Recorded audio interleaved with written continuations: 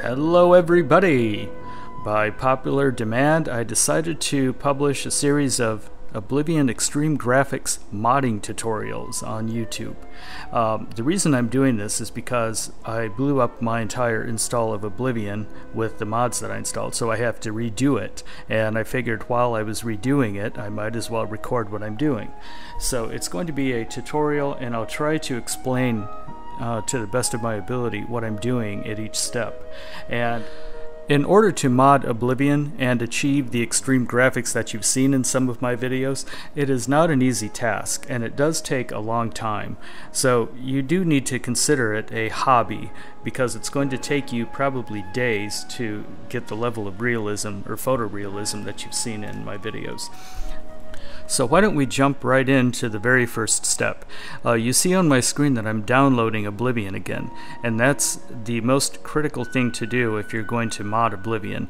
You need to start with a fresh copy of Oblivion with no mods whatsoever. And in a moment, I'll show you the steps you need to take to make sure that you're doing a fresh install of Oblivion. But let's take a look at the mods that we're going to cover in this tutorial. First, we're going to install the Oblivion Mod Manager, then we'll install the Oblivion Script Extender, then the Oblivion Graphics Extender, which is the most important of all, the OBGE, then Wrye Bash, then Qarl's Texture Pack 3, then the really almost everything viewable when distant mod, uh, all natural weather, the natural environments, the habitat and the vegetation modules only in the natural environments, then God rays, volumetric screen space ambient occlusion, and liquid water, which are three modules that we're going to use with the Oblivion graphics extender, then immersive interiors, illumination within, and cities alive at night. Okay, so first let's make sure that we're making a fresh install of Oblivion. Uh, step number one is to find um, your Oblivion install folder if you've already installed Oblivion. Um, in this case, and throughout this tutorial, you're going to see Steam as my folder uh, because I've downloaded it through Steam. Um, so I found it in Program Files, Steam, Steam Apps, Common, and here's all of my um, Steam games. You know, you'll see Fallout 3, New Vegas, and Oblivion. Okay, so the very first thing you need to do if you've made an install of Oblivion is to just rename this file. Rename the entire folder, I mean. Say Oblivion Old. There. And that will clear out the um, uh, the name Oblivion as a folder so Steam can reinstall it. And then, of course, once Steam has finished downloading Oblivion, it will have created a brand new folder that says Oblivion, and this is what a clean install looks like. And this is what you want to begin with. There's one other place that you have to make sure you clear out before you install the fresh copy. There's also a folder called Oblivion in your games folder.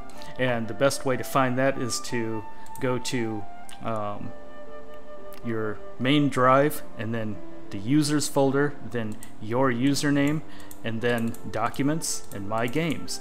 Another way to find that is just to click my documents and then click my games and you'll see an Oblivion folder there if you've already installed it. If it is there you do have to rename this too. You have anything that's in here you have to just name it to old and that's how you do it.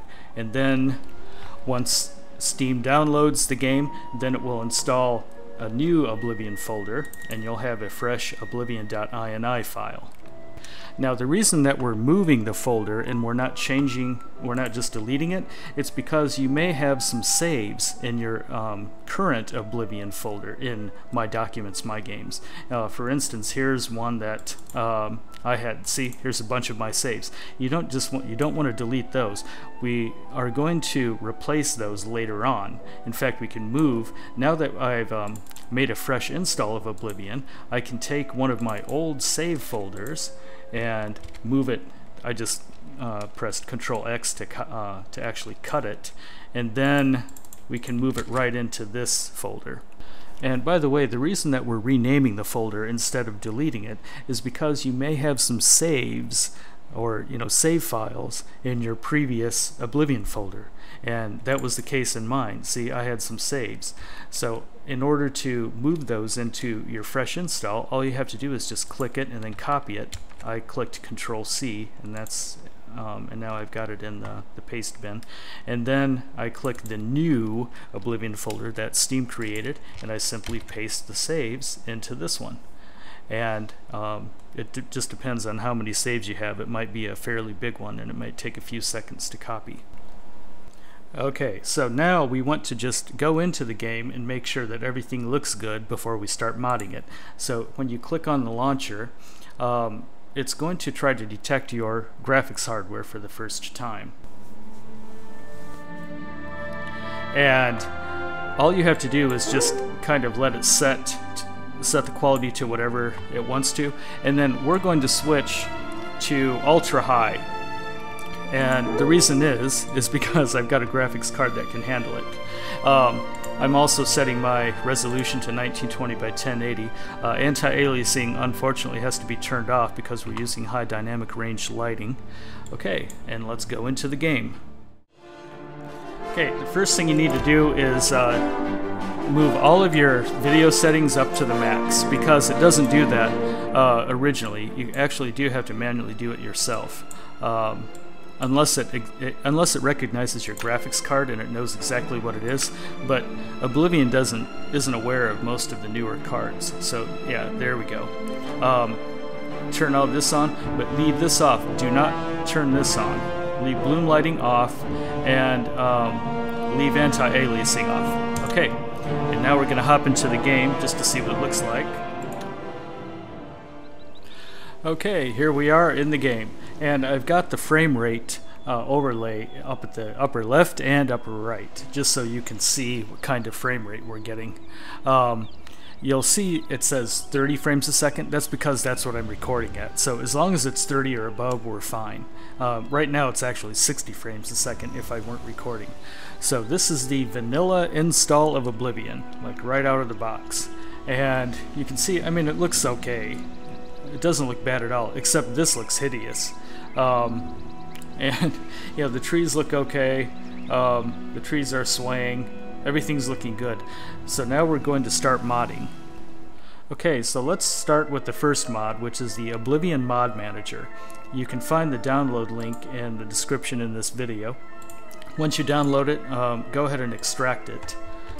Um, this, by the way, my videos assume that you know how to use uh, um, a zip file and how to use a 7z or a RAR file. If you don't know how to use those uh, different types of um, uh, archive files, uh, you need to research it on the web and learn how to extract and how to manage these files because that's outside the scope of this uh, install.